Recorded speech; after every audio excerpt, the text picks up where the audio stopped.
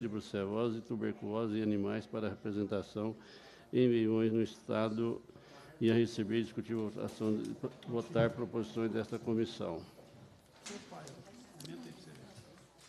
Passa-se a terceira parte da reunião, que compreende audiência com convidados.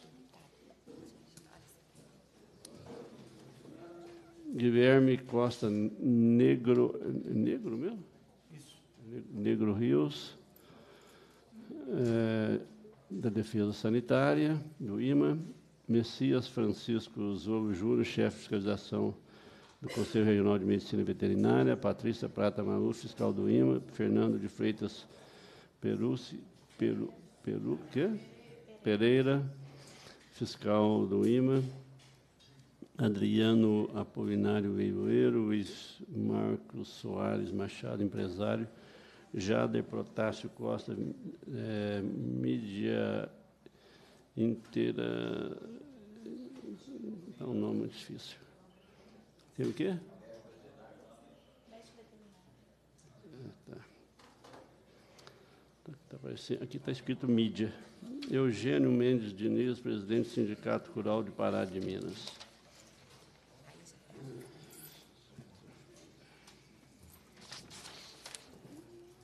Eu vou suspender por um minuto até para ver o formato desta reunião e a ver se está chegando o deputado Fabiano Tolentino também, que era um dos propositores diferente, mas devido a não houve o entendimento aqui na casa, acabamos fazendo diferente. Mas eu não tenho dúvida que, como não tem motivo nenhum para esconder nada, tudo é transparente, talvez seja é uma, pensando de uma forma e da forma que vai ser aqui, talvez também seja, eu não tenho dúvida que vai ser positivo também. Agradeço a presença de cada um de vocês, deslocaram aí do interior para cá, e já passo a palavra, então, para o doutor Tales. Bom, boa tarde a todos, boa tarde. É, na pessoa do deputado Antônio Carlos Arantes, eu cumprimento a todos aqui presentes. Realmente, nós achamos que ia ser uma reunião é, num outro modelo, que nós íamos poder sentar mais fechada, né? não seria nesse modelo de como se fosse um, uma reunião de convidados, mas isso não, não, não, tem problema, não vai interferir em nada as nossas é, ponderações aqui e colocações. É, só para poder fazer um breve resumo, na audiência pública que aconteceu alguns dias atrás aqui nessa casa, é, a respeito das exigências cobradas em cima da instrução normativa que requer que as fêmeas acima de 24 meses e os machos acima de 36 apresenta exames de brucelose e tuberculose para ingressar em eventos agropecuários, né?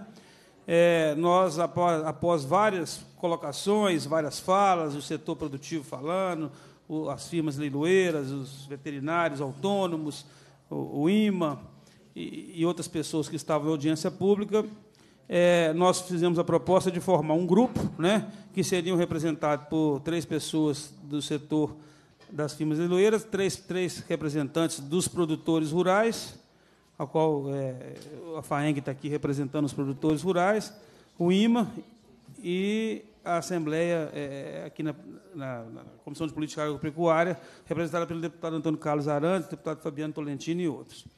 E pedimos que fossem feitas proposições, pois, como ficou encerrada aquela reunião, a gente viu que, que o, o setor principalmente os proprietários de firmas leiloeiras, eles, é, é, é, de toda maneira, estavam relutando em querer cumprir, de certa maneira, a, a normativa em cima do que foi proposto. Né?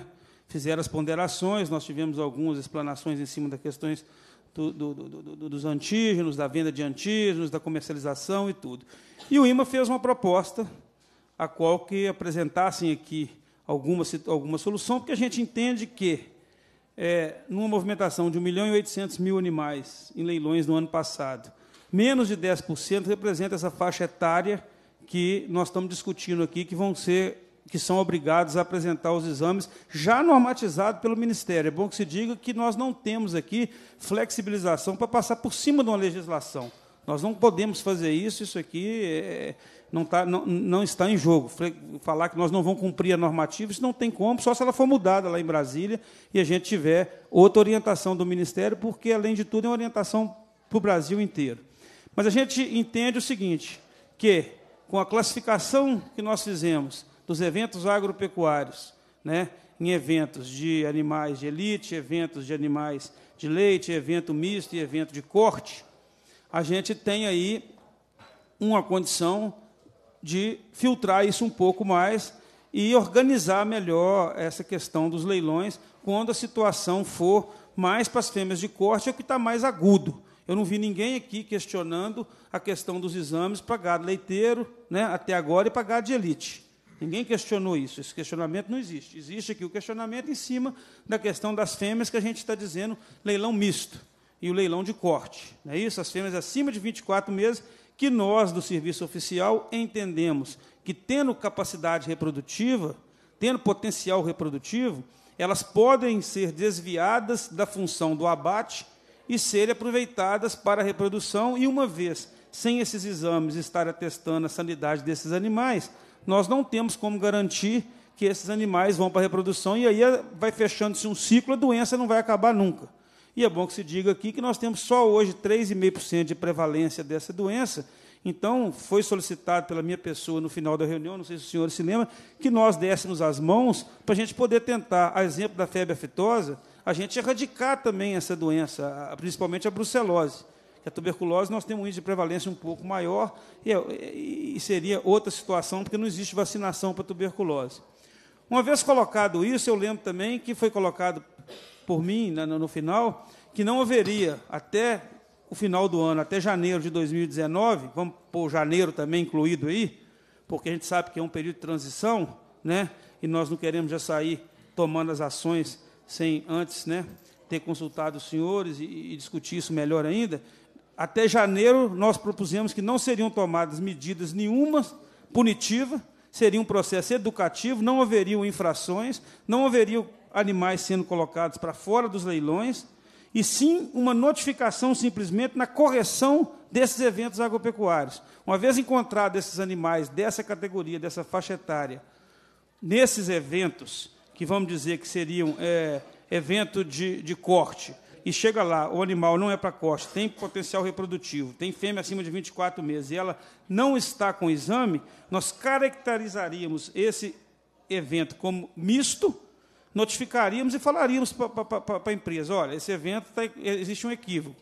Ele não é um evento de corte, ele é um evento misto. Daí a necessidade dos exames. Mas tudo aprazado, tudo acertado, tudo combinado. Bom, dessa forma, nós poderíamos ver como que o mercado vai reagir, principalmente com a questão dos antígenos, porque é uma realidade e nós precisamos começar a adaptar com isso. Não existe a possibilidade do IMA voltar a comercializar antígeno em suas regionais.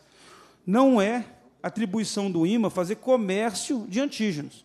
O IMA é um órgão de defesa sanitária, um órgão, uma autarquia do Estado, e não pode, inclusive, é, é, é, continuar fazendo esse tipo de coisa, uma vez que nós temos um mercado para ser regularizado dessa forma.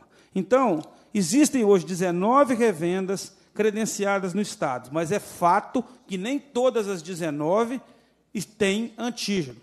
Agora, nós vamos trabalhar no futuro com quatro, cinco, talvez dez, no máximo, empresas que vão comercializar esse antígeno. Agora, os profissionais autônomos têm a liberdade de comprar esses produtos e estocar. Não tem dificuldade, tendo o produto aqui em Belo Horizonte, tendo em grandes centros, no Triângulo Mineiro, tendo na região Juiz de Fora, tendo produto em outras regiões, eles podem ter acesso a esse produto. Não existe o desabastecimento de antígenos no Estado. Existe, como foi dito na audiência pública pelo colega veterinário autônomo que está aqui, que na regional de Oliveira, naquele momento, não existia antígeno. Mas em outra região, com certeza, tem. Aí vocês podem ponderar, mas vou ter um custo para deslocar. Vai. Mas o mercado vai se adequar sim. É uma questão de mercado. O Estado não pode começar a interferir nisso. O Estado vai interferir da seguinte forma: tem um desabastecimento? Tem. O Lanago tem como fazer um estoque regulador? Tem. Quando não tem a, o antígeno na praça, como não tinha há alguns anos, e nós, inclusive, não tomamos essa medida por causa disso, nós suspendemos, nós reconhecemos que não tinha um antígeno. Os laboratórios não estavam fabricando, mas hoje a Microsures garante o abastecimento. Então, nós temos essa garantia de abastecimento. E o profissional autônomo ele pode comprar mil, duas mil, três mil doses do antígeno e armazenar. E aí, eu acho que pode haver até a questão dos sindicatos participarem, não tem problema, entendeu? Das associações e outras. Então, eu estou fazendo um breve relato aqui do que foi discutido, tá? para a gente começar a discussão. Eu, eu espero que a gente proponha soluções. A gente aqui, é, a outra audiência já foi audiência para a gente poder, é, como diz o outro, bater e apanhar. Aqui é agora a hora das soluções de uma proposta amarrada aqui. O IMA entende que passar por cima da legislação nós não podemos autorizar. Eu não posso fazer isso aqui, nenhum de nós pode. Tá? Só o ministro Blair Mais que pode ir lá e dar uma canetada e tirar a normativa do ar e fazer outra. Nós não podemos fazer isso. É uma instrução normativa federal. Ontem o deputado Antônio Carlos Arantes participou comigo de uma reunião semelhante a essa, com a questão de citos, onde foi questionada também instruções normativas federais por parte dos produtores de citos de campanha, dos produtores de citos de Bonfim, e ele ouviu lá a colocação do Ministério da Agricultura sobre as legislações, como que foi explicado, como que a coisa funciona do Ministério para os estados. E nós somos o serviço oficial ligados ao Ministério da Agricultura. Temos convênio com o Ministério da Agricultura. Então, eu espero a compreensão dos senhores para que a gente saia daqui com uma coisa acertada, que vá funcionar, que o IMA vá cumprir o que for combinado aqui. Nós não vamos deixar de maneira nenhuma de cumprir o acordado aqui. E eu acredito que esse período de adaptação de seis meses que nós estamos propondo aqui vai dar para a gente poder sentir como que a coisa está funcionando, vai funcionar. Por quê? Querendo ou não, nós não estamos propondo aqui que a coisa fique solta, nós queremos que aqui que, as, que, que os exames comecem. E qual a quantificação deles? Nós vamos apurando aos poucos. Quantos por cento está fazendo? Quais as dificuldades estão acontecendo? Por que, que tal lugar não está fazendo? Porque uma coisa eu apurei e eu queria colocar para os senhores aqui. Eu não vejo problema hoje, entendeu? Na região de Juiz de Fora, na região do Triângulo Mineiro. O problema está mais latente na região da Coordenadoria de Bom Despacho, Tá certo? Que o problema está mais latente na região de Bom Despacho. Tá? Porque nós não temos, não, não, não, não, tivemos ainda. Não, já, já, já visitamos. Foi proposto pela FAENG que eles fizessem as propostas e fizessem os questionamentos via FAENG. E quantos, doutor Altino, chegaram para o senhor a respeito disso? Questionamentos e, e sugestões? As propostas foi do Triângulo Mineiro. Uhum. Propôs. Só um minutinho. Vamos aguardar que aí eu passo para você. Pode ficar tranquilo. Então, nós tivemos aqui de Itaguara, de, de, do Triângulo Mineiro, lá de Uberaba, do núcleo, né? E é praticamente esses que sugeriram, é, fizeram propostas né? É, para mudança ou, ou sugestões para aprimorar a instrução normativa do IMA. Tá. Então, basicamente, é, eu fiz só aqui um, um, um, uma lembrança, da, da, da, um apanhado da última reunião, para a gente, é, é, é, é, organizadamente aqui, discutir o assunto e ver se a gente sai daqui hoje com essa questão resolvida para não ter que fazer outras, outras reuniões. Né? O que eu acho é que, realmente, o que mais me sensibilizou nessa questão é a faixa etária dos animais que estão envolvidos nessa cobrança, ser um percentual muito pequeno do que foi movimentado de gado no ano passado, nos leilões que nós apuramos lá através do sistema Cidago. E é uma chance da gente ir melhorando a qualidade do nosso rebanho e a questão sanitária, que é importante. Né? A gente é, vê outros estados que estão bem na nossa frente quanto a, a essa questão aí. Tá? Eu quero depois que os colegas do IMA também possam se manifestar, depois que passar a palavra ao setor produtivo, porque tanto a doutora Patrícia quanto a doutora Fernanda, o doutor Guilherme, o doutor Messias do Conselho, têm conhecimento amplo do assunto também. Eles é que praticamente coordenam essa parte dentro do Instituto Mineiro de Agropecuária, dentro da Gerência de Defesa Animal, e têm informações para a gente que podem nos ajudar também na nossa discussão que vai ser feita aqui. Ok? Muito obrigado. Muito obrigado, doutor Tales. Então, agora eu vou passar a palavra, Adriano, para o Adriano, que é lá do Sindicato de Guatama. Uma palavra. Vamos agora vamos fazer o seguinte, Sérgio, nada impede depois né, voltar a palavra. Vamos ter um, aí três, cinco minutos no máximo e, e, e volta depois, não teria nenhum problema. Perfeito. Primeiro, boa tarde a todos, pessoal da mesa, muito boa tarde. Uh, deixar claro que, além de leiloeiro, sou presidente do Sindicato Rural de Guatama e produtor rural. Então, é, é importante levar em consideração que eu estou vendo uh, o problema por, por três ângulos. Não é? Uh, com relação ao que, o, ao que foi dito, uh, realmente vamos levar em consideração aí uh, 1 milhão e 800 mil animais, que 10% disso seria o, o objetivo dessa, desses exames. Isso não é nada pouco representativo. Seria em torno de 15 mil animais por mês. Uh, isso, aproximadamente. Isso gera uma despesa para o setor de mais de 8 milhões e 100 mil reais, se pegar em torno de 45 reais por animal. Então, nós teríamos aí em torno de 8 milhões e 100 mil reais saindo do mercado e indo uh, para um outro setor, que seria o setor do, uh, do laboratório, do, do, do veterinário, enfim. É, outra, outra coisa que me preocupa é que, se você exige esse exame para fêmeas supostamente que poderiam ser desviadas para reprodução, e aí não há nenhuma garantia de que o animal vai para a reprodução, mas supõe-se que ela possa ir para a reprodução, é? Uh, isso afetaria diretamente o mercado de comercialização de fêmeas. Esse mercado ia, ia despencar, sem sombra de dúvida quanto a isso. Outra coisa que eu queria uh, colocar é que uh, as fêmeas para reprodução é, é, um, é um mercado muito específico. Normalmente, quem compra animais para reprodução quem leva animais para a fazenda com o objetivo de reprodução, ele procura sempre animais de melhor qualidade, animais registrados, muitas das vezes, não são todos, mas muitos desses produtores uh, buscam animais registrados. Tem exemplo lá do, do senhor, aquele que vende lá no leilão lá de Abaeté, senhor Jeová Andrade, só fêmea registrada, boi registrado e vende animal para corte. Então, assim, é um mercado que, que é, é muito difícil uma fêmea que vai para um leilão misto ser direcionada para a reprodução. Ela vai ter uma vida aí de dois anos e meio e vai para o corte. Então, é, eu acredito que isso precisa, precisa ser levado em consideração. A instrução normativa, como eu disse na, na audiência, ela foca na consequência, ela não foca na causa, na raiz do problema. Então, uh, seguir uma instrução normativa, não tem ninguém aqui uh, se escusando de, de, de cumprir o que está tá na lei. Vamos tentar depois rever essa lei, porque é uma lei completamente torta, completamente uh, inexequível, mas o fato hoje é que nós temos que levar em consideração que é preciso achar uma solução para o problema, que é a brucelose e a tuberculose.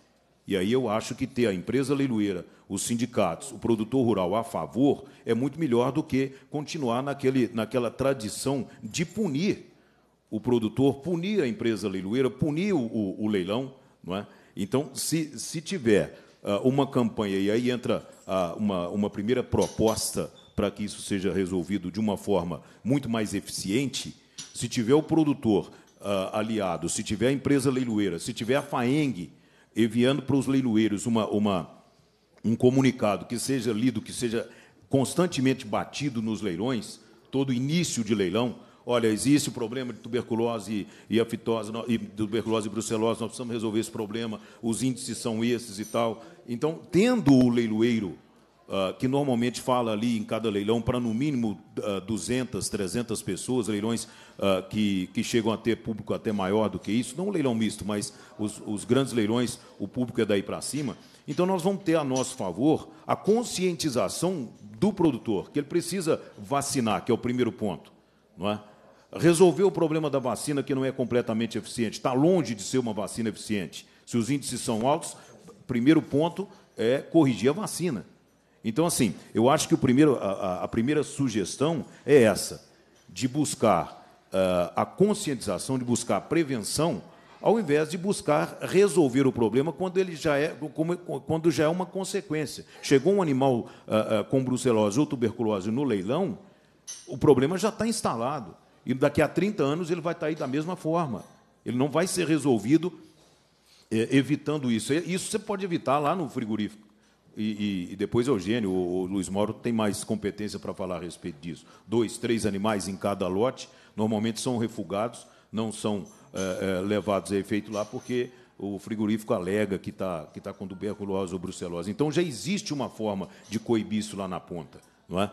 A questão da reprodução, a gente procurar outra sugestão, procurar é, é, instruir o produtor que vai trabalhar com, com recria, que vai trabalhar com cria e que ainda não se utiliza de touro registrado, touro com, com, com credenciais para ser um reprodutor, que tenha todos os exames, que tenha ah, ah, ah, os laudos todos, tanto de sanidade quanto de reprodutivo, para que esse animal possa realmente trazer alguma coisa de efetivo, de, de, de, de melhora na produção dele, ao invés de levar tuberculose e brucelose. Hoje a gente sabe que muita, muitos dos animais que vão para as propriedades para servir de reprodutor são animais tirados no meio da boiada. Então, o que, que adianta cercar a fêmea reprodutiva se na hora de, de, de, buscar o reprodutor, ele vai numa boiada, vai lá, tira um boi, compra aquilo pelo preço de corte, o vendedor vendendo como se fosse um animal para corte, não é? e esse animal entra na, na, no meio do rebanho para ser um reprodutor. Então, assim, a, é, o, o, que a gente questiona, e, e, e não estamos aqui falando em não cumprir, mas tentar achar meios de fazer a coisa funcionar e, e efetivamente resolver o problema. E discutir essa normativa lá no, no, no, no Ministério da Agricultura, porque ela realmente não é impossível de, de, de ser colocada em prática.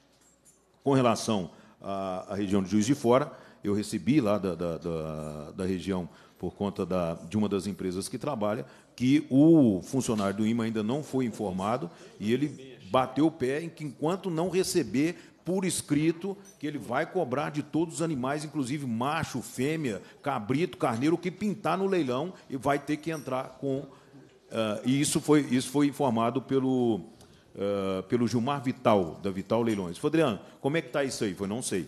Da mesma forma, o pessoal lá Isso de. Foi um equívoco que acontecia em Rio Pombo e já foi solucionado então, eu tentei, por mim. Eu tentei é. conversar com o senhor a esse é. respeito, eu tentei é. ligar, mas estava na, na, na, Nacional do Pônei aqui em Uberaba é, e, aqui não, em, Belo Horizonte, eu, acabou não, é. não tendo efetividade. Da mesma forma, Coromandel, a mesma coisa, ligou, falou: olha, a coisa aqui está desse desse jeito. Olha, nós temos. Isso foi ontem. Nós temos uma reunião lá amanhã, provavelmente isso vai ficar acertado alguma coisa e eu passo a informar para vocês. Então, assim, é, não está vindo de outras regiões, porque eles estão centralizando na gente que, que, uh, que levantou o problema a busca de informação e, e também a, a, a, passando informações a respeito do que está acontecendo em cada região. Muito obrigado. obrigado. O Ismael tinha pedido primeiro. O Ismael, por favor. O seu mais velho, se for que você está com a cabeça branca, você pode fazer primeiro. A fala é. Boa tarde. Boa tarde a todos. Né? Eu queria, assim, dar uma sugestão, como o Thales falou, o dia de da gente discutir mais aberto, até de armado ou desarmado, passou. Para a gente fazer algumas pontuações, as verdadeiras pontuações, assim, que são as dificuldades. O pessoal do leilão falar assim, a dificuldade nossa é essa, um, dois e três. Eu vou falar para o produtor rural qual que é a dificuldade nossa para a gente chegar assim, vocês entenderem o que é a dificuldade que a gente tem, né? Para a gente achar, assim, eu não vou conversar aqui coisa técnica, eu não vou ver o que, que a doença causa, eu não vou ver, é, não vou falar de onde é que vende medicamento. Medicamento tem que vender na casa de remédio. Isso é minha sugestão, assim, para a gente organizar e ser bem mais objetivo, assim. Uhum. É, o Antônio Carlos aí conduz aí, assim, por exemplo, o pessoal do leilão, ele falar assim, a nossa dificuldade no leilão, assim, e o objetivo nosso é esse, esse, esse, esse. Para a gente ver o que, que é. Porque, por exemplo, você desarmou eu, Thales. Você não pode, não pode, não pode, não pode, então vamos levantar e vamos embora. Não, não pode. Tanto que nós estamos dando aqui, nós estamos fazendo um, um, praticamente um, um, acerto aqui, não, mas, da fala do entendeu? Adriano, de seis meses para poder ver justamente essa questão que é, vocês estão colocando é o seguinte, e fazer uma avaliação. Entendeu? Entendeu? Assim, qual que é a dificuldade para tocar os leilões? Porque os leilões são de grande importância, fomenta, é preciso disso. Você vende um gado no leilão bem melhor preço que em qualquer outro lugar, isso aí é fato, a gente prova, fomenta a pecuária, tá? Então, assim, para organizar a palavra da volta, eu quero falar depois, assim, uhum. pontuar é, qual que são as dificuldades da gente produtor e assim o que, que eu acho que, que poderia as instituições estão tá mudando e está se repensando para o futuro diferenciar algumas coisas. Eu quero pontuar uns pontos que eu acho super negativo, tá? Ô, Eugênio, só você me citou, a única coisa que eu falei que eu não posso é descumprir a normativa. O resto nós estamos abertos aqui, tanto que nós estamos reunindo pela segunda vez, pela terceira vez, já fomos lá em Guatama, no evento lá, entendeu? Tanto que nós protelamos isso aí já, é, já soltamos um documento, inclusive, para todas as nossas regionais, falando que está suspenso por enquanto, que a coisa continua do jeito que está, se tem um servidor ou outro cobrando. Felizmente, se você trabalhar com. Nós temos 1.500 fiscais, você tem sempre um que, que, que, que às vezes, age por conta própria, você tem que, às vezes, explicar melhor para ele como que a coisa tem que ocorrer.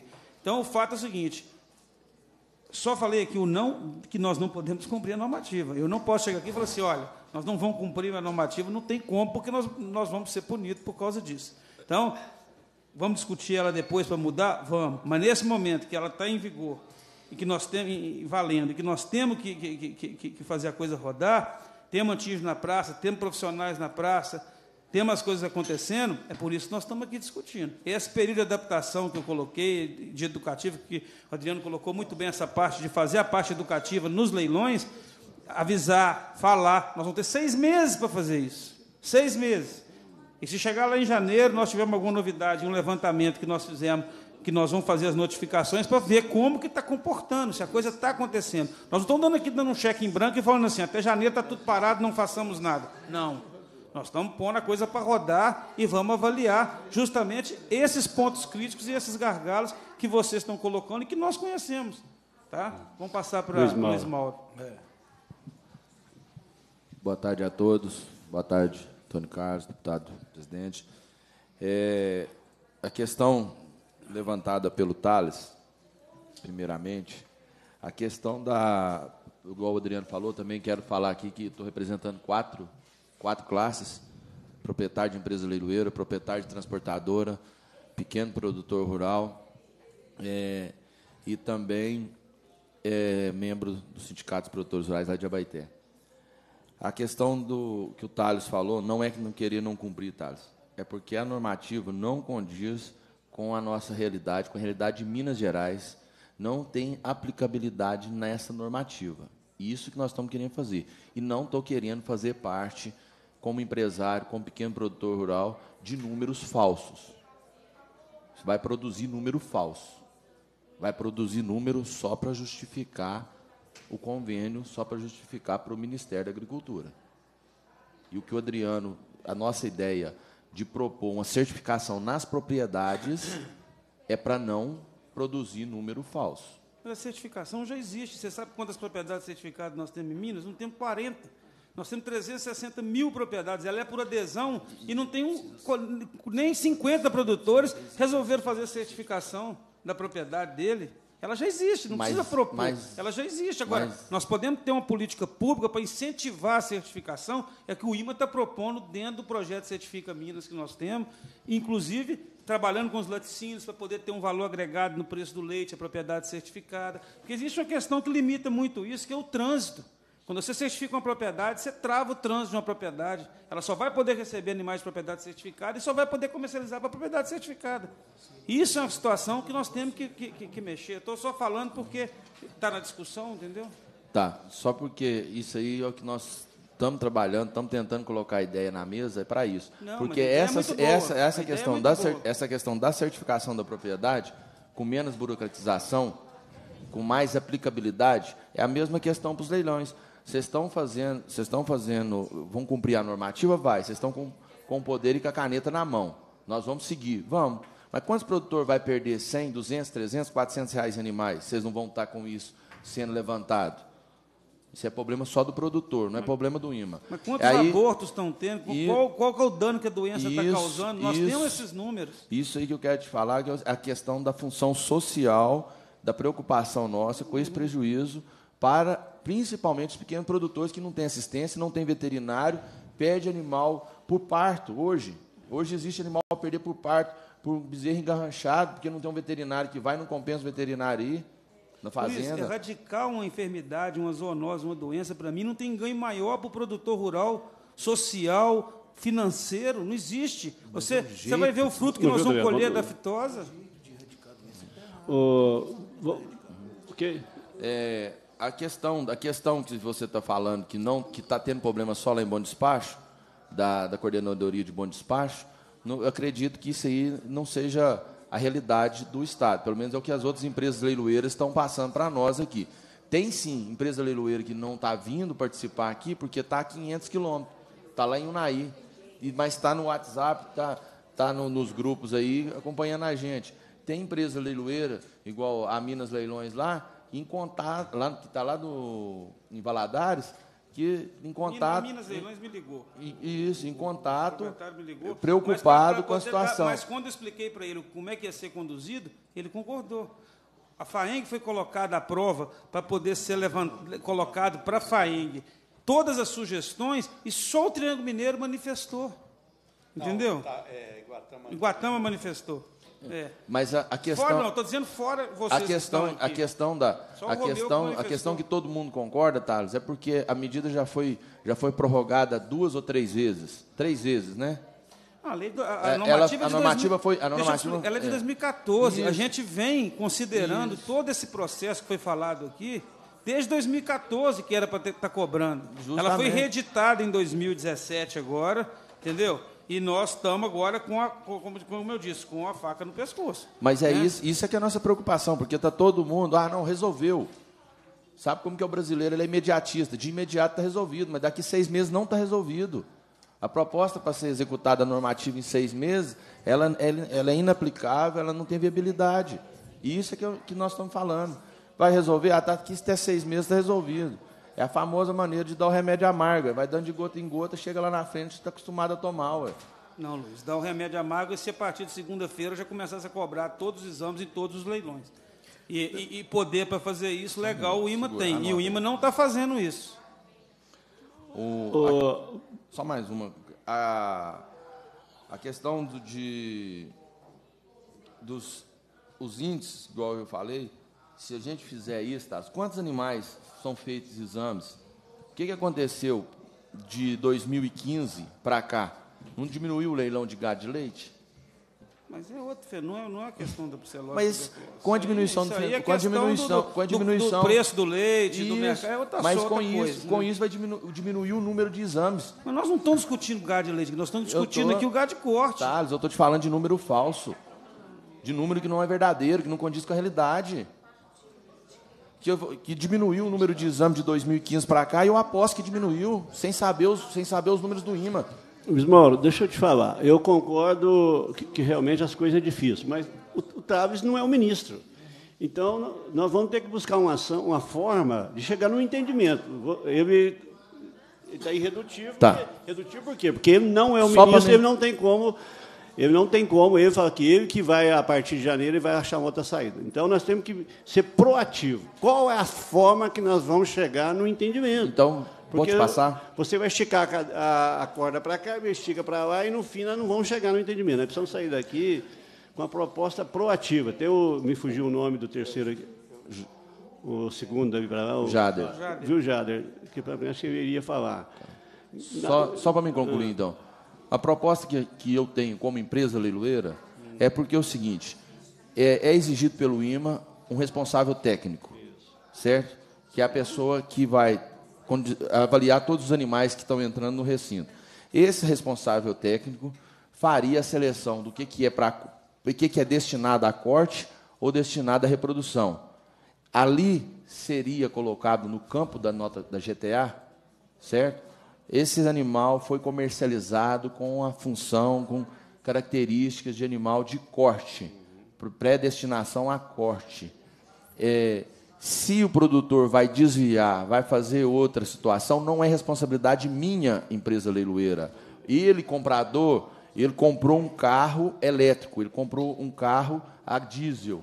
Se ele vai pôr outro combustível nele, é problema do consumidor para frente. Ele foi alertado, ele, ele recebeu um documento assinado por um responsável técnico que o que, que vem dentro daquele produto, para que, que é a destinação daquele produto. Pronto, acabou. Vaca Nelore parida, eu também acho que não tem condição de, de cobrar ela, de passar ela no leilão sem exame. A vaca parida, igual a vaca de leite. A novilha abate com sete meses de prenhez, ela é abatida? Entendeu? Então seria a questão somente das vacas paridas nos leilões. E os animais todos seriam destinados pelo RT. Essa, essa é a condição. Eu quero ouvir o- o- o- os colegas do IMA estão aqui. Só eu falei até agora, não sou ser diretor, mas eu, eu- como vocês estão falando, nós temos aqui o nosso gerente, temos a equipe técnica também. Eu gostaria de ouvi-los também a respeito. A questão da, da- da- do, do RT direcionar, nós já fizemos isso através do produtor. Como é que funciona hoje? E isso foi uma ideia que nós tivemos no ofício circular, que foi feito até pela diretoria técnica. O produto, deixamos na mão do, do produtor rural. Ele vai chegar lá e vai tirar uma GTA e vai falar qual o destino do animal. É para abate ou é para cria recria? Não existe animal para cria reprodução. Todos que ele tirou foram para o abate para não fazer o exame. Então, existe o problema que o Adriano colocou muito bem do custo. Quando nós começamos a vacinar contra a fitose, teve ninguém que levantou e falou assim, teve, até teve, mas como viu que o retorno era muito maior, ninguém ficou questionando, ah, quanto que nós vamos desviar para comprar vacina e jogar o dinheiro para o laboratório? Você sabe que os laboratórios enriqueceram com, com, com a fitose. está falando de dois, três reais. Nós estamos falando de 45 reais. Mas eu estou falando de 24 milhões, mas eu estou falando de 24 milhões de cabeça no estado de Minas, Adriano. Você tem 100 animais Não, numa propriedade a dois reais, a Nós- conta é fácil de fazer. Então, mas eu Se deixa eu você te tem falar. 100 animais a Adriano. 45 reais é outra Mas conta. isso é matemática. O rebanho de a Minas Gerais. Deputado, Não, eu vou pedir não, a eu mesma, te passo- não, a não, gente eu te fala, passo. Ele rebate, a gente não, Não, pode rebater. Então não, pode- negócio- Não, pode. Vai Mas eu- poder mas- rebater tranquilo. Mas eu estou explicando o seguinte: a fitose são 24 milhões de cabeça, vezes, vezes hoje, não, não são, são 5 e pouco, quase 6 reais. Né? Agora, você coloca cento- 180 mil cabeças a 45, quer dizer. Isso, se a gente não fizer os exames, se nós não tivermos, vocês da Cima Liloeira entenderem que vocês que estão comercializando os animais, vocês são sim responsáveis pela sanidade desses animais, como é que nós vamos fazer? Ah, bom, bom, agora, Adriano, então pode complementar. O problema não é. O que eu quero, o que eu quero deixar claro é que não tem ninguém querendo que, que, eh, que mantenha esse problema eterno. O que eu estou falando é que não vai resolver. Nós estamos criando despesa, não é dois, três reais, são 45 reais por animal examinado, e aí você está buscando uma informação. é, é, que o problema já está instalado, é isso que eu estou querendo botar na cabeça de você. Não adianta examinar. Tem que prevenir. Nós estamos falando em prevenção. Nós estamos falando que daqui, sei lá, 10, 15 anos, você vai fazer um exame para poder comprovar se o negócio deu certo e não vai ter animal mais doente, igual foi com a aftosa. Por que, que a aftosa deu certo? Não foi porque fez exame de aftosa para poder entrar no leilão, foi porque vacinou o animal. Foi porque buscou uma vacina eficiente e fez uma campanha eficiente e o pessoal do IMA foi lá e fiscalizou e vacinou. E aí você resolveu o problema na base. Nós estamos falando, você imagina se tivesse feito esse mesmo trabalho que está querendo ser feito para a brucelose e tuberculose, com o que fez com a fitose, de estourar a fitose para o mundo inteiro. Mas uma doença é vírus, Porque- outra é bactéria. Nós não podemos contar, comparar o pro- processo o pro- dela da etiologia das doenças. Não tem como em- você questionar isso. Tem como questionar sim, eu estou falando em vacinar, estou falando em, em- em- em- em botar na cabeça do produtor que ele tem que vacinar, que aquilo vai ser bom para ele. Ao invés de falar de examinar o produto depois dele estar doente. Não adianta você salgar a carne podre, porra. Você Mas tem que pegar o animal você diminuir a pressão de inóculo. Se você tem um animal que não tem doença, você limita ele, Você marca ele, ele vai para o Você abate, não você tá vai conseguir isso com exame. Exame Claro é uma comprovação de um, de um- de um- problema ou não. Exame é para Adriano, poder Adriano. comprovar. Não, o animal tem problema ou o animal não Deixa eu te tem explicar. problema. Por que, que criam-se os fundos de defesa, os fundos que são criados para indenizações? É justamente para você Deixa erradicar a doença, eliminando animais doentes. Os animais doentes são focos que estão transitando. Ô, Thales, o que, que acontece? Na, na- na- realidade, você está defendendo a, a instrução normativa. não Nós estamos aqui tentando achar uma solução, porque a, a instrução normativa não tem como ser aplicada. São dois pontos de vista completamente diferentes. Se fosse para aplicar a instrução, e ela foi feita lá em 94, ela já teria sido aplicada há muito tempo.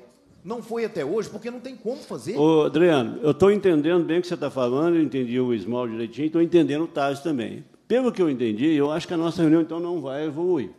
Vai. Não, Ô, não, ô, só, presidente, só- não, mas Antônio. só, só um minutinho. Eu acho que o negócio nosso, nós vamos ter que partir para Brasília. Pegar os Não, deputados aí, federais. sim. O- o- Dois pontos que eu acho que nós aqui já... a autonomia é bater o limite. Não, sim, mas Vo- veja. e vocês conhecem Do- a prática e sabem que é Dois pontos que eu acho que nós já evoluímos. Primeiro, Ah. ele, ele, ele, ele- bom, até janeiro a gente, nós teremos então pelo menos até janeiro para correr para Brasília e resolver Isso. o que, que se faz com essa normativa eh, que alguém que nunca pôs uma botina no pé eh, resolveu botar no papel. Ponto. Primeiro ponto. Segundo ponto, essa questão das três eh, das três categorias, excelente. Vaca já é cobrado, tudo como está. gado de corte não é cobrado, tudo tranquilo. A questão fica só no leilão misto. Ok? A gente faz esse trabalho todo de, de, de, de, Em termos de percentual, prevenção. o que, que representa isso? Ah, aí é difícil. Ô, ô, Antônio, deixa eu dar uma sua. Aquela, Ô, Otávio, por favor, o deputado Inácio Franco, por favor. aquela, Otávio, aquela proposta do Luiz Mauro, porque se, se um, um- existe lá no leilão, se tem o responsável técnico, se ele deu um atestado que o gado é para corte, que o gado não é para criar, eu acho que isso aí tem, isso aí tem, tem força judicial até, né? Isso aí é. Não, o É, é, responsável é, é. técnico do conselho está aqui vai poder manifestar a respeito é? dessa Isso aí- situação. O Messias está aqui pode nos Eu nos acho que isso aí é fundamental, viu, André? Eu acho que é o ponto de. Se lá existe o responsável técnico, se deu atestado que o gado é de corte, olha, ele está testando aquilo, ele é, ele é um profissional. Tá O Messias poderia, vai então, corte, né? poderia comentar a fala do deputado Inácio. Seu, é. É. Boa tarde para todo mundo. Meu nome é Guilherme, eu sou gerente de defesa sanitária animal. Eu queria dar algumas eh, informações né, com relação ao assunto. Primeiramente, a gente, relembrando aqui a audiência pública passada, a principal forma de introdução das duas doenças no rebanho é a introdução de animal doente. né? Então, a forma da doença entrar em uma, dentro de uma propriedade é a aquisição de animais doentes dentro do seu rebanho. É, os o principal problema que a gente está vendo aqui são os, os custos que foi argumentado, são os custos para o produtor estar realizando os exames. né? No caso, 45 reais. E, e o produtor que está comprando o animal como reprodutor e não... Por favor, posso terminar? Adriano, agora vamos, vamos ouvir, porque é importante o- ouvir o Iman. Eu acho importante é o seguinte, eu acho importante falar o seguinte, é, a gente está preocupando com o custo do produtor que está levando o animal para o evento, né? E a preocupação com o produtor que está comprando aquele animal, né? Ele quer a garantia de sanidade daquele animal. Deputado, é, a gente sabe, muitas vezes, o animal, para mim, ele é para descarte. Né? Aquele animal não serve pra, como reprodutor para minha fazenda. Eu vou levar para o leilão para o descarte. Mas, para o meu vizinho, ele vai querer aquele animal como reprodutor. Sim, por isso ele quer a garantia daquele animal com exame. Entendeu? Então, essa classificação de evento nada mais foi isso. Colocar, não, não é o cumprimento integral da INDS, não é a exigência de exame de tuberculose de todos os animais, animais para seis semanas, são animais com potencial reprodutivo, que a maior forma de entrada da doença nas fazendas, que os animais vão ser exigidos exames. Né? Então, assim, a ideia é essa.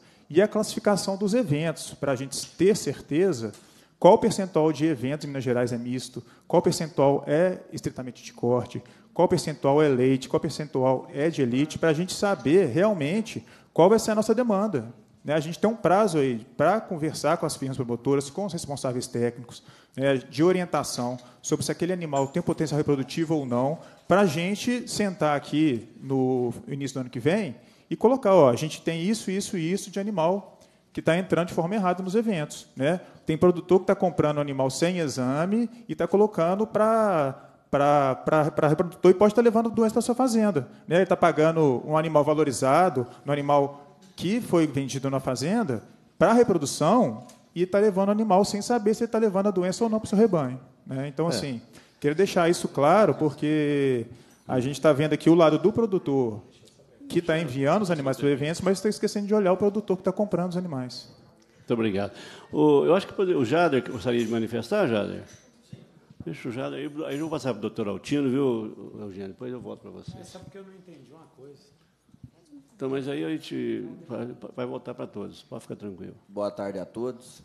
É, Queria fazer apenas algumas perguntas. Eu vi que a evolução aqui da reunião não, não vai seguir, porque tem uma parte de um lado e uma parte de outro. É, voltando naquela nossa antiga conversa da última reunião, Thales, sexta-feira passada eu tive aqui em BH num laboratório chamado GPEC, um estabelecimento. É, até então tiveram uma propaganda enganosa no- na última reunião que tinha, tinha tuberculina lá. E sexta-feira semana passada não tinha, não. Não, não foi você que fez, não, foi o GPEC. Não- não- Pois é, na sexta-feira passada não tinha, não. Tuberculina aviária não tinha. Eu tive pessoalmente. E eu adquiri tuberculina bovina. Só que eu precisava dos dois.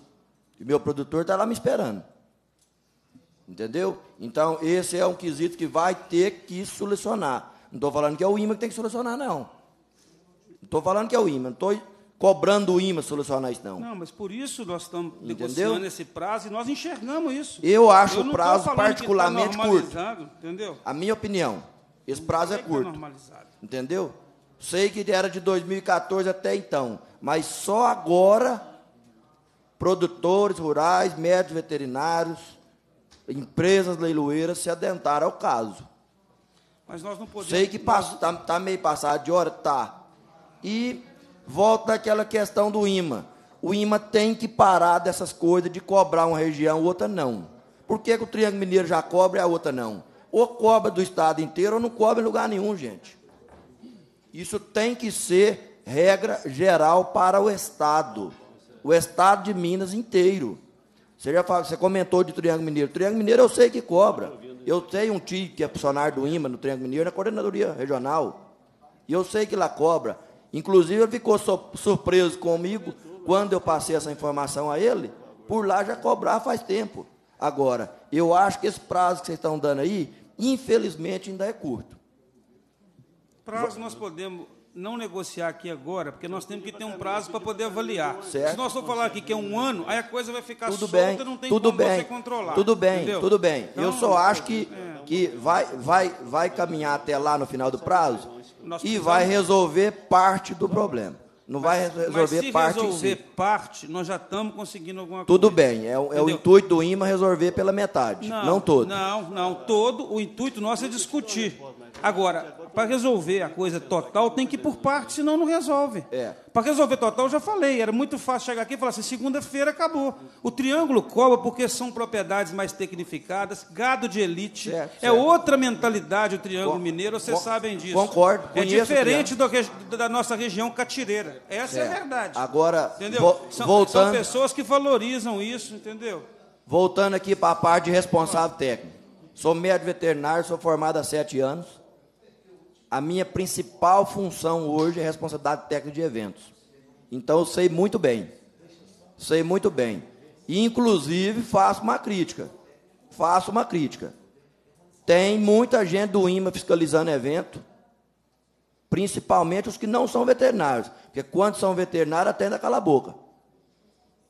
Que não entende nada da legislação. Está indo lá para cumprir aquele papelzinho com aquela, com aquela nova impressora que chegou. Que antigamente era no papel, o papel enchia de baboseira, carimbava e ia embora. E aí tem muito é, responsável técnico que é irresponsável Também, técnico também, né? É. também. Mas como, sabe, como, sete anos, sete anos em, em atividade, é. com nenhuma advertência, se eu estou até hoje é porque até então eu trabalho correto. E eu com, vi- com 30 anos que eu vou fazer de serviço Aí. público também sem nenhuma advertência. que eu é. sou do IME e sou da casa. Então, né? Posso entendeu? dizer isso. Aí, aí, agora a questão do, do repro- igual nós conversamos na outra lá, um boi a- acima de 36 meses. Um boi acima de 36 meses, com 30 arroba no leilão. Você acha que esse boi vai para reprodução? Acho que Quem vai escolher é quem vai comprar, né? Pois é, Gente, aí, ô- aí, vo- voltando aqui, calma, calma que eu não concluí. Vou concluir. Eu, eu Vai vou concluir, concluir. então, Bruno.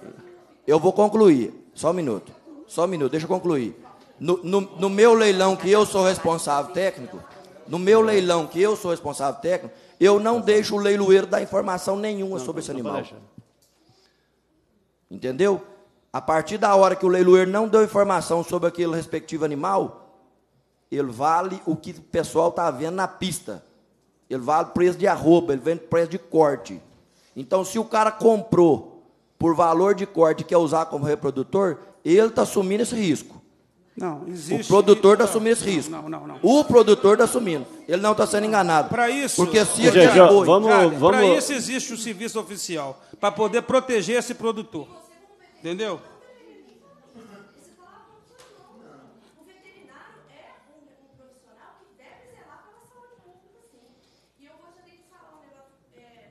Pega o microfone, então, fica mais fácil. É, porque ele comparou a aftosa com a brucelose na época que falou que a, a a erradicação da aftosa foi somente com vacina. Não, foram sacrificados milhões de animais, né? E, se- e os produtores acredito que naquela época também não estavam nem um pouco satisfeitos. Então a gente faz os exames de brucelose e tuberculose visando o sacrifício dos animais positivos. Não é simplesmente para saber se está ou não com a doença. Então, é, é para vacinar, existe a vacina. Têm que, eu concordo com você que tem que ter conscientização de todos os produtores, de toda a cadeia. Falta muito, inclusive é, dos, dos profissionais é, autônomos. E, mas é, a gente sabe que isso aí é um trabalho a muito longo prazo. E só a vacina, a gente viu pela palestra da, da nossa colega que não, nenhuma vacina é 100%, não existe isso.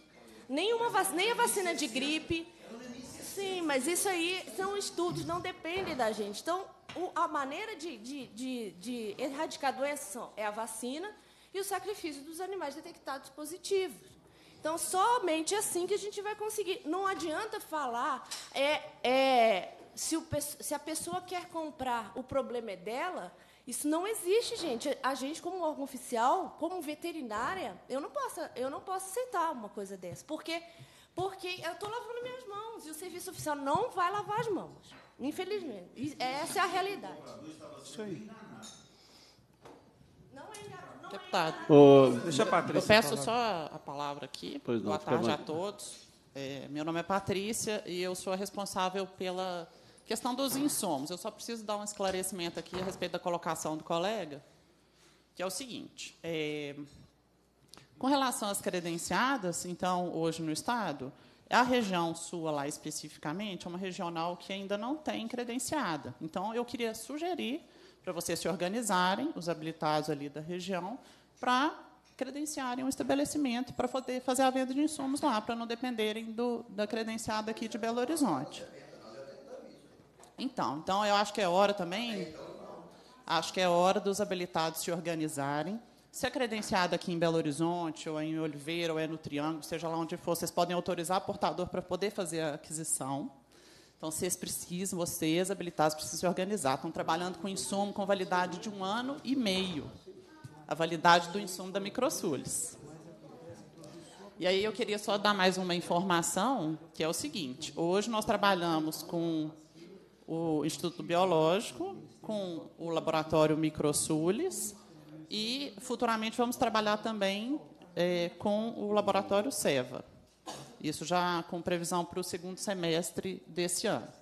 O Laboratório Microsules ele tem uma distribuidora em Uberlândia e eles já manifestaram eh, uma demanda, a demanda para segundo semestre desse ano de é, 2 milhões 900 mil doses de, de tuberculina bovina, 1 milhão 800 mil doses de tuberculina viária, 1 milhão 800 mil doses, e antígeno certificado tamponado, que é o AT, que é para fazer os exames de brucelose, 2 milhões 900 mil doses.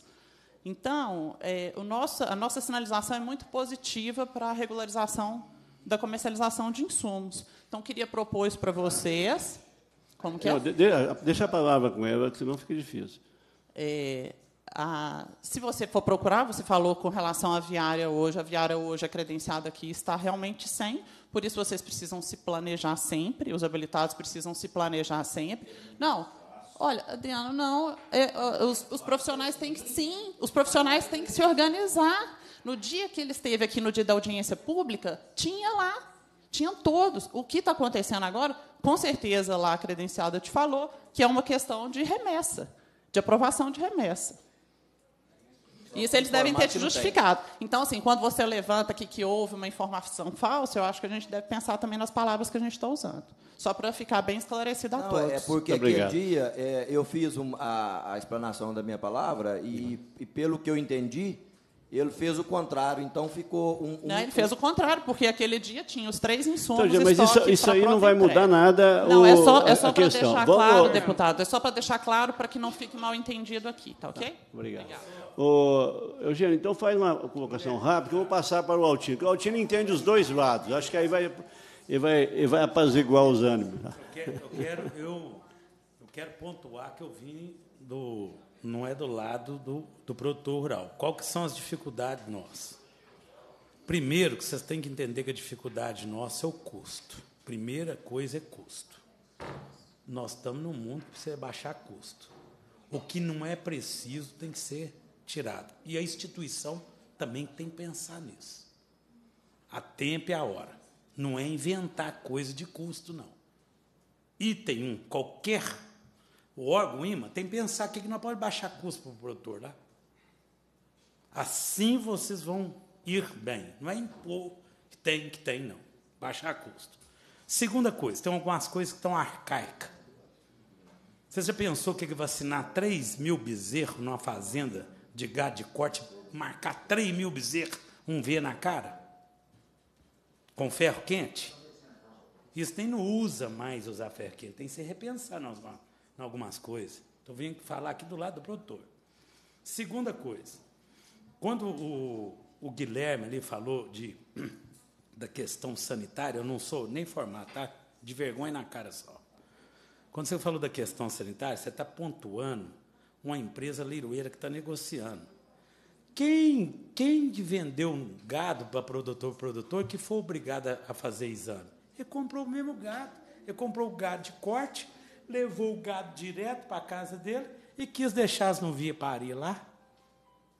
Então, só, só um tiquinho, tá? Eu estou pontuando o que você falou. Então, nós estamos na contramão nós estamos na contramão dos pensamentos. Tá falando, nós estamos. Não está em acordo. Não é leilão que vai que vai é, erradicar a fitose. Anda caminhão para é, brucelose, tuberculose, qualquer um. Anda caminhão de gado o dia inteiro, ou tem que mais anda. Se você quiser, para em qualquer lugar ali. Não entra dentro de cidade, no centro de cidade, que é proibido. Vai qualquer interior para você ver. Tem mais tem. É caminhonete velho, caminhão velho puxando gado o dia inteirinho. Tá?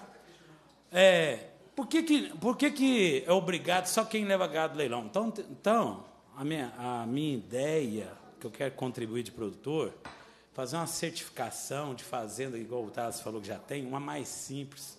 Obrigar todo mundo a certificar, por exemplo, quer erradicar uma doença, todo mundo tem que fazer um examezinho por ano na, na fazenda tuberculose, então, e mandar para o IMA.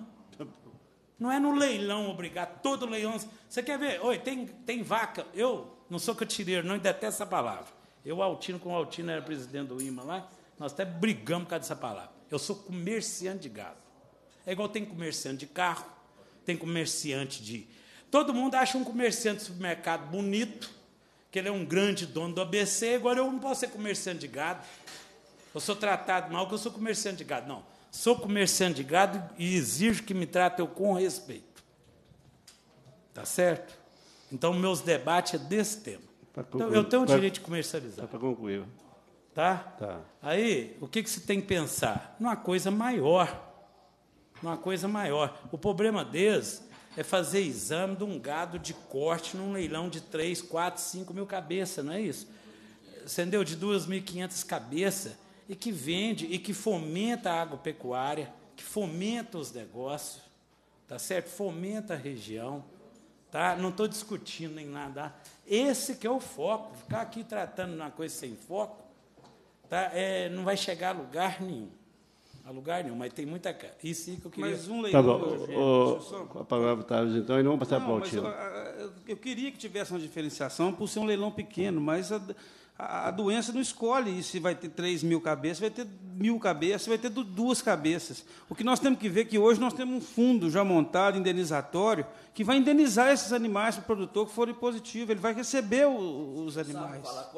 Não, já- não Entendeu? vamos interferir, não. O isso aí- valor, isso aí doutor Altino depois, pode que falar senão isso nós, com você. vamos, senão nós perdemos o, o controle da reunião. Então, nós temos que ser aqui realmente mais proativos.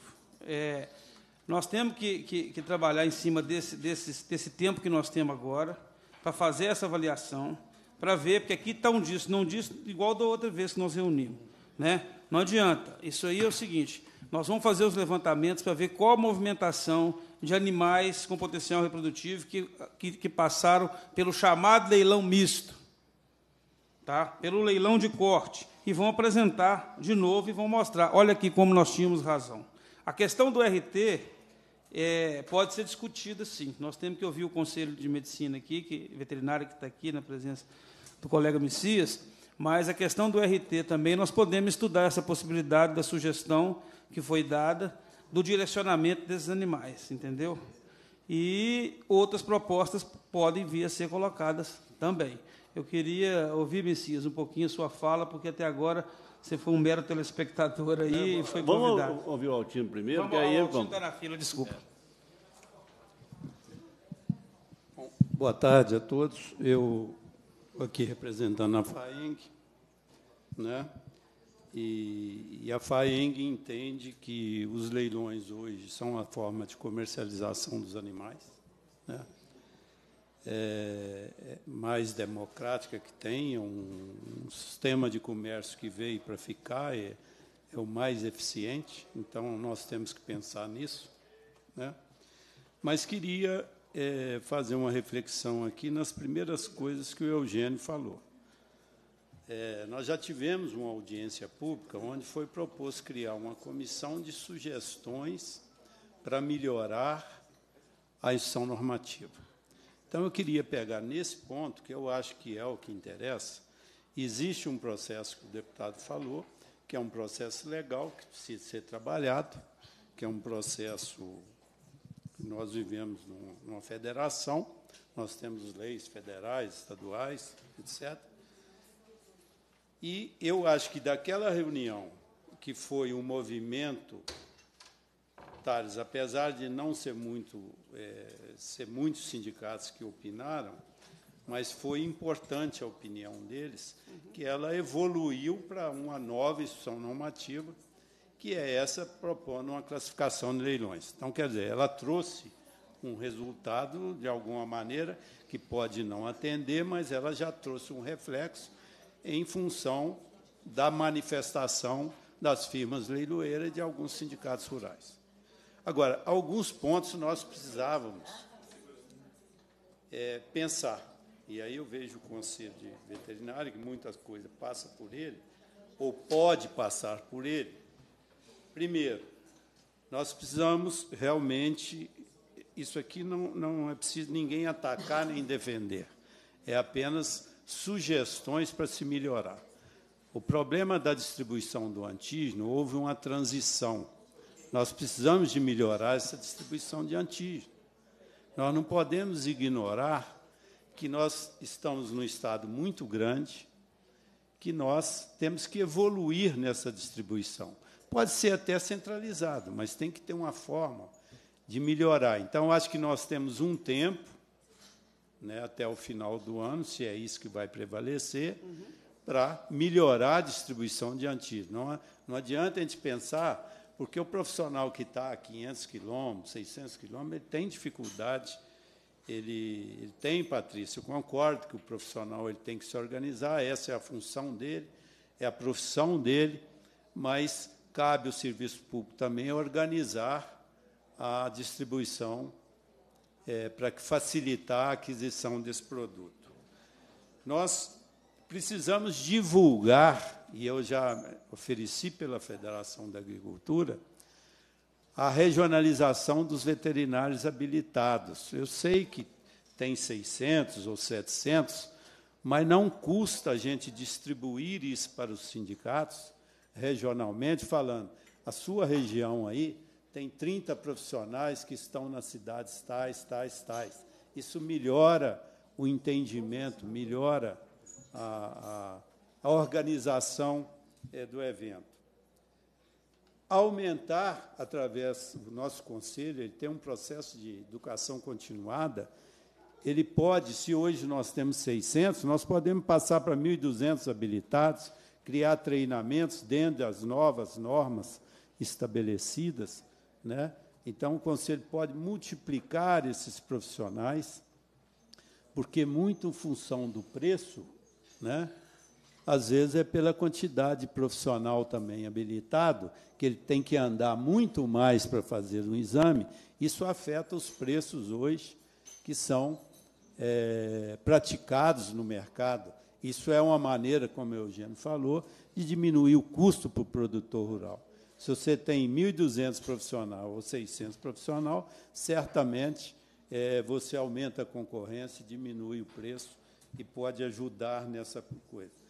O, o colega veterinário falou uma coisa que a gente sente, não é no IMA, em todos os órgãos é, do mundo, é a padronização dos trabalhos. Essa é uma busca incessante que tem que existir é, nos regionais de padronizar os trabalhos do IME. Então, isso tem que estar na meta, no foco, na coisa, porque é, existe tratamentos desiguais é, que teriam que ser iguais e são desiguais regionalmente.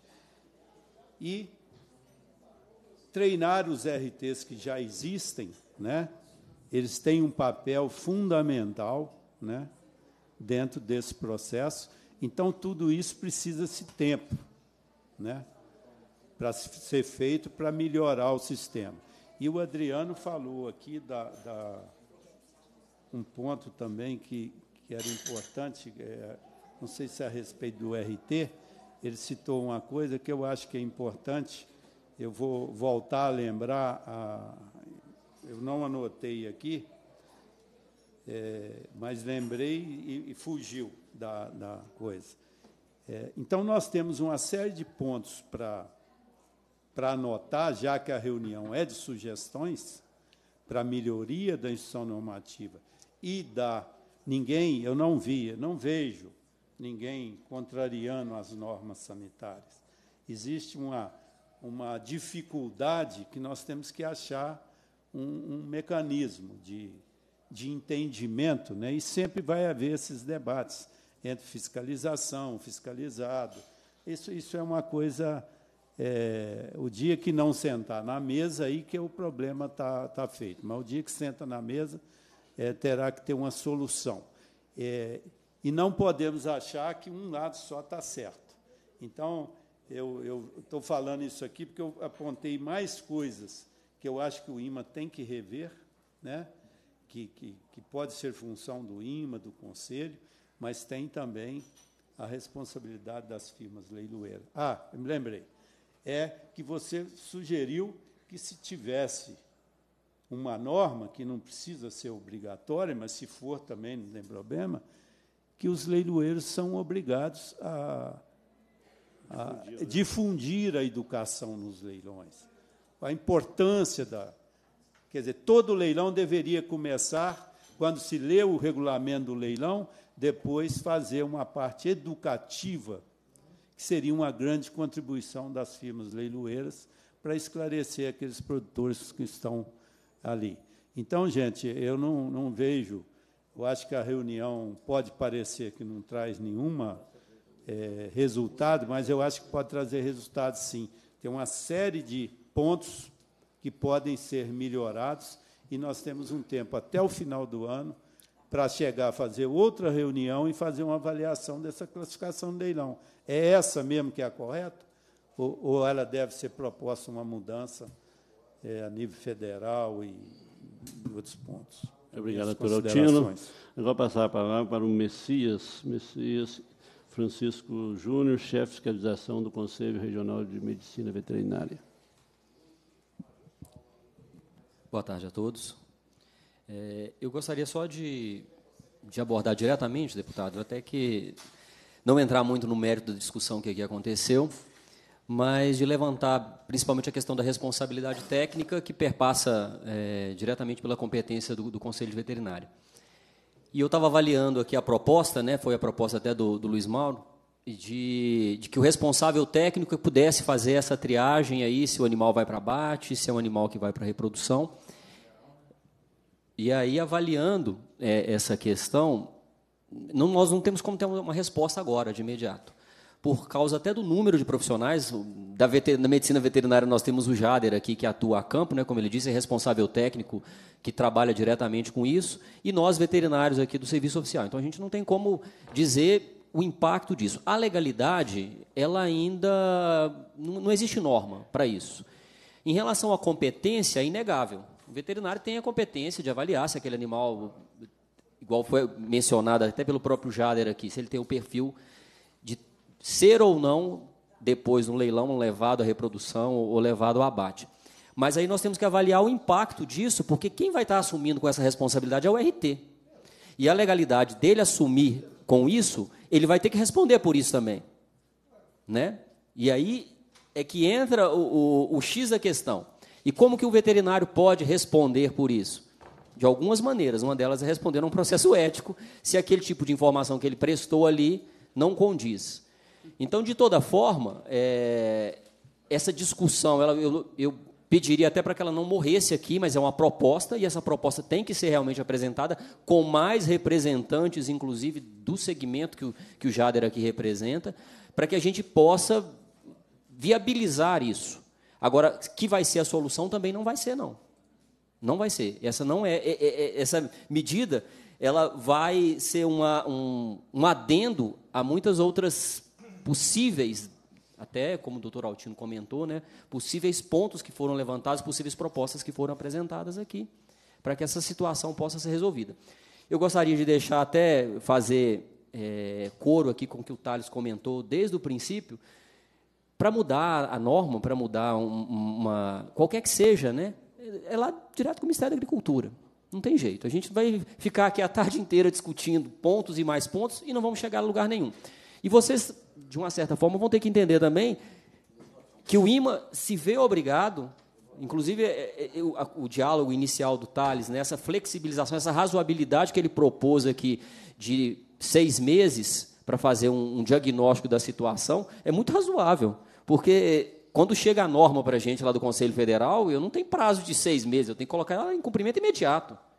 Eu tenho que começar a exigir e aplicar as medidas coercitivas em relação a isso.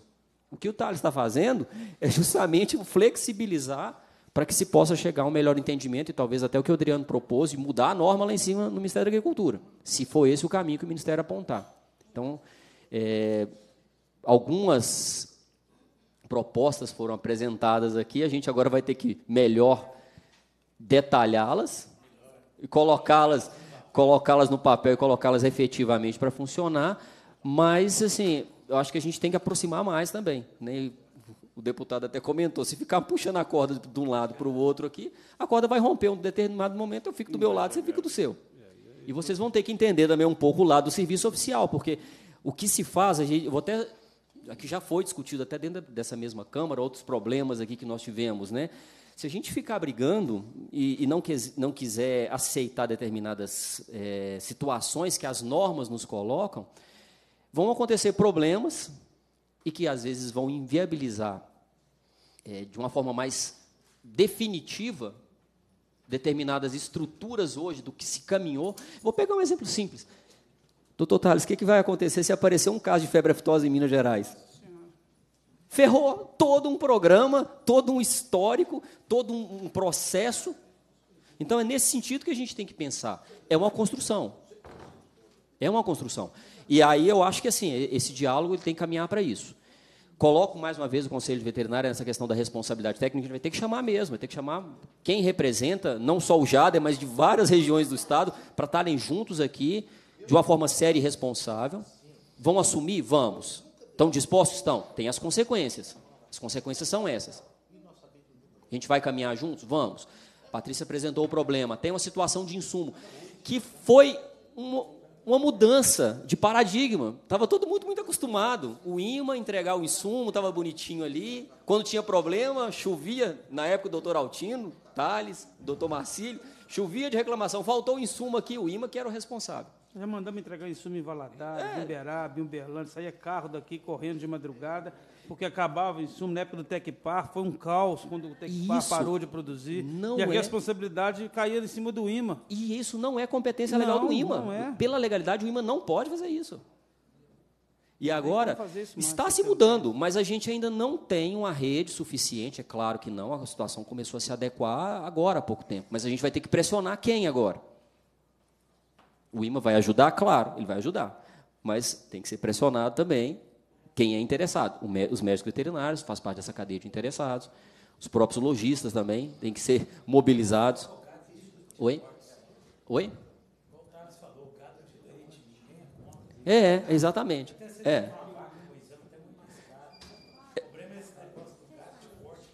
Essa proposta do Adriano também de ir sensibilizando, vai falando, vamos fazendo isso, porque não tem outro jeito de mudar as pessoas se não mudar a cultura, se não mudar a forma de educar. Então, eu acho que surgiram realmente várias propostas e possibilidades. Só que a gente vai ter também que flexibilizar algumas coisas, né? O IMA, eu percebi uma boa vontade do IMA em flexibilizar, já para não, não entrar direto já autuando e etc. Vamos como chutando a porta. Não, não entrou chutando a porta. Mas a gente vai ter que ir também ajustando aí para a gente poder chegar. Quem sabe a gente consegue baixar esses valores aí também, que de repente dá para queimar uma gordura? Não sei, vamos analisar, quem sabe. Né? Né? É, o veterinário vai gritar. O preço do, o, o preço do insumo, o preço do insumo, quanto que está que tá hoje o antígeno para poder fazer o custo? A, a Luciana colocou lá três e, e os quebrados, né? Quanto que é? Quem sabe de cor? O preço. Você que comprou esses dias. 50 Quantas? doses, 160 reais. É. A tuberculina. Quantas doses? Pois é, sai nessa faixa aí. O problema não é o custo do insumo. É, si, isso que eu né? estou falando, porque o, o valor insumo é do muito barato. Não é o problema. É, Não, custo é, e do- o problema, o problema da questão do, dos serviços veterinários, talvez é, também tenha que se trabalhar nesse sentido de tentar é, melhorar o preço do serviço veterinário. Por exemplo, tem cooperativas aí que fazem contratação direta de, de veterinário Aham. para fazer exames. Claro, claro. Que aí, Então, na- é nessa situação, forma. ele já está com, com o ordenamento, com, com a despesa dele já mantida pela cooperativa, ele consegue reduzir É, essa. isso, é, isso é uma realidade em algumas regiões. Aham. Então, talvez o caminho também seja esse, né, para tentar Claro, viabilizar claro. o custo dos exames. Bom, Thales. Ô, gente, vamos. O problema é o seguinte, que nós estamos. Já você tinha uma pergunta? obrigado. Vamos. ah, Se nós não fizermos pelo microfone, fica até difícil e também. Já- po- já- Continua com a palavra. Já, já concluindo, é porque o Jader, parece que ele, ele queria fazer uma pergunta, não sei, deputado Sol. Pois não, Jader. Uma pequena sugestão Sim. em relação ao curso de RT.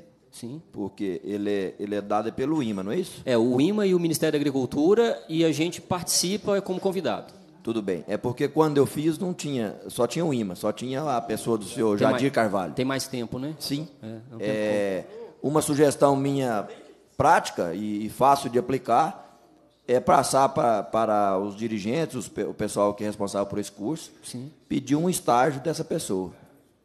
Porque eu, acho, eu achei, particularmente, o dia que eu fiz o curso, muito conteúdo, pouco tempo e uma certa, uma tremenda dificuldade na hora que você encara um programa igual eu, no, no, no caso, peguei a transição do Cidago para o novo Cidago. Isso para mim foi um terror, mas graças a Deus eu consegui suportar, porque eu acompanhei um veterinário que já era habilitado.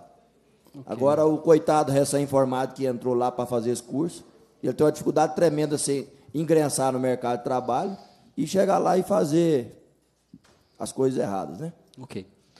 Mais uma vez, né, deputado, coloco o Conselho de Veterinária à disposição para a gente participar dessas discussões e para a gente ampliar isso. Muito obrigado. O Luiz Mauro, agora, bem rápido, viu, Luiz Mauro? Tá. Porque aí nós vamos voltar deputado, aqui também- para o IMA. Ah. Só para esclarecimento, eu estou num dia de, da mais importância do dono da empresa leiloeira, que eu estou preparando um leilão amanhã, grande lá em Pompéu. Poucos donos de leiloeiro têm a irresponsabilidade de largar o serviço que eu larguei hoje para vir aqui em função da reunião. Então, também quero objetividade. Falar em levar para Brasília, eu estou achando que nós estamos assinando um termo de falta de política nossa aqui. Mas a legislação é federal. ué. Não, mas nós podemos resolver aqui, não tem necessidade de levar para Brasília. Eu acho que nós podemos resolver. o IMA resolver não tem autonomia. Na, sobre a lei federal, ele não tem. Mas podemos fazer essa proposta. Essa proposta pode ser emitida por dentro do CIDAG. O Conselho Regional está tá de acordo. O técnico responsável está de acordo. Representando aqui está de acordo. Nós, empresas leiloeiras, vimos isso como uma solução. Acho que o caminho é esse. Só para pautar uma questão com a Patrícia aqui, rapidinho, essa é geral e é bem rápido. Questão do- dos credenciados, das empresas credenciadas, dos, dos veterinários credenciados para exame, de IRT, e isso no geral. Na minha cidade, são sete, sete eh, eh, veterinários que têm curso para fazer RT de leilão. Somente tem dois que têm interesse e têm disponibilidade para fazer. Isso acontece também com, com veterinário credenciado para fazer exame. Empresa, empresas, donos de, de revendas de remédio, de casas, de casas agropecuárias, não tem interesse em vender nem a. Credenciar para vender insumo de R$ reais e, e- e burocratização e tudo, não vai ter interesse também não. Vai ser ponto, vai ser, vai ser dificuldade a ser vencida no, no caminho. Estou falando que realidade. A questão, agora passando para o que o Thales falou a respeito de comerciante, catireiro, estão tudo doido para o IMA acabar com os leilões. Fechar os leilões, que para eles vira o céu. Por quê? Comercialização de produtor para produtor não existe. Porque não tem, não tem cobrança, não tem exame. É igual a vaca de leite. O comerciante, o catireiro de vaca de leite, Guilherme, pode vender uma vaca doente, com tripassomanise, com brucelose, tuberculose, mamite, que não é responsabilidade de ninguém. Só queria só complementar aqui. De Guilherme, acordo deixa- com... Deixa eu terminar, Vou terminar. que aí eu passo a você. questão, a questão, eu acho, daquela proposta já foi debatida entre várias empresas leiloeiras, vários leiloeiros, certo? É a melhor, a melhor solução para nós. Estamos atendendo a normativa, certo? Estamos fazendo exames de animais em reprodução, que são vacas acima de 36 meses que estejam paridas. Elas estão produzidas, elas estão lá, paridas, efetivo. Para entrar, tem que ter exame, certo? Vamos fazer o exame das vacas. Aí, depois, seja cobrado tão, imedi tão imediato, tão imedi é mojadinha para parir? É, é o o RT que vai falar lá. Aí, então, vamos, vamos falar o seguinte, Thales. Vamos colocar nessa normativa também a, a exigência de produtor para produtor. Mas já existe, então vamos cobrar na hora do, do- na hora do IMA. Tá? Não, mas vamos cobrar junto, porque aí já é efetiva. A, norma, a instrução é a mesma, é efetiva. Não prejudica Produtor nós pra como produtor, empresas. pra produtor para produtor, como é que você vai controlar? Você não tem como. Não tem. Aí na hora de tirar o GTA lá, ele tem que apresentar. Não, ué. mas nem todo o exame vai transferido. O deputado- não via caminhão. Nem Não, todo. mas que seja transferido tangido. Ah, tudo Luiz. Mauro, é, deputado. É Vamos, só uma- deixa eu só só me encerrar, porque aí É você fica. esse assunto, é sobre esse assunto Não, mas eu acho que aí você abordaria todos os assuntos. Encerra, vê a parte dele, deixa eu encerrar, aí eu passo para você. Não sei quem vai tomar nota, mas a proposta seria essa: animais com mais de 36 meses, certo? Paridas, certo? Os machos que tenham é registro. Não, 24 meses é a, é a idade que ainda vai para abate. Não, mais de 36. 24, não, mais de 36. A proposta é mais de 36. 24, não. Entendeu? Ok? Então, é, e que seja cobrado também de produtor para produtor no mesmo dia e hora que seja cobrado o leilão. Porque aí sim está sendo efetivo. Ah, porque se não for cobrado de produtor para produtor, tem mais de 100 sites aí vendendo animal aí de produtor para produtor. A negociação hoje é a mais moderna agora, doutor Ortiz. Está sendo essa de WhatsApp. Está concorrendo com nós, empresa. Então, essa é a sugestão. Então, agora, Bem, Guilherme, por é, favor. Na verdade, a gente, o sistema hoje, a legislação ela prevê, deputado, que De acordo com a finalidade que a gente vai tirar a guia de trânsito animal, a GTA, ela tem umas exigências sanitárias. Né? Então, no caso, produtor, produtor, se ele marcar com a finalidade de reprodução, que é a mesma finalidade que nós estamos querendo proteger o produtor que está adquirindo animal em leilão, com a finalidade de reprodução. Esses animais são exigidos exames de brucelose e tuberculose, também produtor, produtor. Né? As outras finalidades, engorda, logicamente, assim como der finalidade também dentro do evento pecuário, que seria animal de corte, também não é exigido. Então, assim, a gente já tem essa mesma finalidade de, de exigência, equiparidade de exigência, tanto no evento agropecuário como propriedade propriedade. Né? Outro, outro assunto que eu queria é, abordar é o seguinte: num, a gente rodou vários leilões, a gente tem também as nossas regionais, onde a gente tem contato diretamente. Num, na grande maioria dos eventos mistos, que é o grande gargalo nosso aqui dessa, dessa reunião, é, são os animais com aptidão reprodutiva que precisam de exame. Né? E isso é a, a minoria dos, dos, exames, do, dos animais que participam do, do, do, do evento. Acho que as promotoras podem, podem até falar. Né? Hoje você tem no evento lá, eu tive lá em Patos de Minas, 3 mil animais, você tinha quatro lotes de fêmeas acima de 24 meses que seriam, estariam exigíveis de exame, ou então um lote, um lote de touro, dois lotes de touro acima de, acima de 36 meses, que é a proposta que a gente colocou. Né? Então, assim, é, a gente, como, como órgão de fiscalização e defesa sanitária animal, a gente não tem, infelizmente, como prever preço de mercado. Essa não é a nossa missão. Né? Essa nossa missão é exercer a defesa sanitária animal dentro do Estado de Minas Gerais, e, para isso, a gente tem tem os nossos guarda-chuva de, de, de, legislação federal, que a gente não pode afrouxar, somente das normas estaduais que a gente tem que regulamentar essa, esse arcabouço legal federal. Né? Então, é, a gente imaginava também uma reunião de forma diferente, né? uma reunião que a gente já tinha apresentado essa proposta para os sindicatos rurais na, na última assembleia, né? na, último, na última é, audiência pública. E acredito, Luiz Mauro, assim, com relação aos mais reprodutores, acima de 36 meses, isso já está previsto no nosso, no nossa, nossa su, su, su, a sugestão anterior. Né? Agora, as fêmeas, acima de 24 até 24 meses, elas têm que estar vacinadas. Né? Isso aí é claro para todo mundo. Agora, acima de 24 meses, o que a gente percebe é que são as novilhas que vão para a reposição de matriz nas propriedades. Né?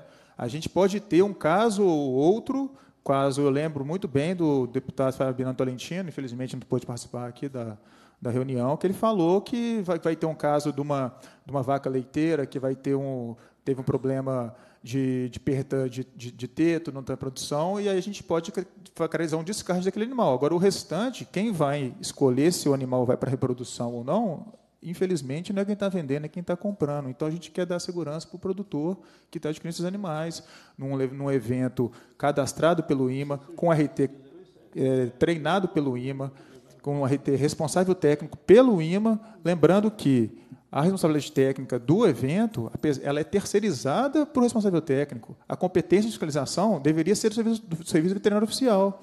Só que, infelizmente, a gente não tem como fiscalizar 5 mil eventos em Minas Gerais. Né? Ele é um braço direito do IMA dentro do evento pecuário, de fazer exigir cumprir as normas sanitárias impostas pelo arcabouço federal e o arcabouço estadual. Né? Então, assim, a gente tem que encarar também, já o, o responsável técnico parceiro do, do serviço veterinário oficial. Né? Eu acho que é, a gente tem que andar junto com relação às próprias normas para defender o agronegócio mineiro nacional. Né? Hoje, o, o Messias falou, se a gente tiver um foco de aftosa hoje em Minas Gerais, a primeira coisa que para são os eventos agropecuários, todos. Né? A primeira forma de disseminação de doença conhecida, os últimos focos de aftosa no Brasil, foi todos trazidos pelo Paraguai, que parou no evento pecuário no Paraná e disseminou. Então, assim, é, movimentação animal é o principal gargalo nosso. Né? Então, assim, o fundo sanitário está chegando uma hora importante para dar um subsídio também para os produtores, no caso de animal positivo para brucelose e tuberculose, e vai dar uma, uma, uma garantia de reposição do, do, dos valores dos animais que serão, infelizmente, ter que ser sacrificados no caso positivo. Tá? Então, era isso. A gente está aberto a questionamentos e agradeço a todos. O... Cumprida a finalidade da reunião, declaro, declaro a reunião encerrada e convoco os deputados e deputadas para a próxima.